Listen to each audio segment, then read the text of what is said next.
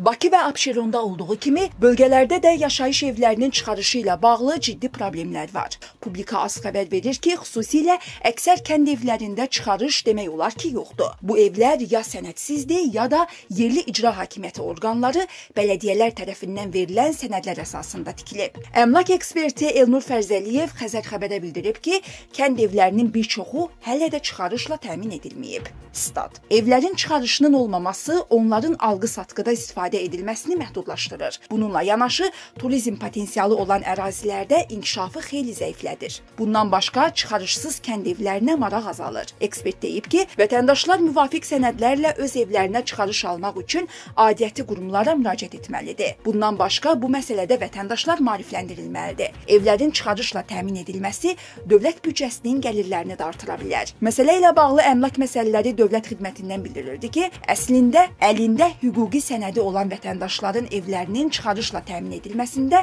heç bir problem yoxdur. Ümumiyyətlə sənədi olmayan və mühafizə olunan zonalarda tikilən evlərə gəldikdə isə bu məsələyə köklü yanaşma nəzərdə tutulur. Problemin həlli üçün ayrıca normativ hüquqi sənədin qəbul edilməsi gözlənilir. Videomuzu bəyəndinizsə kanala abunə olmağı və videonu bəyənməyi unutmayın.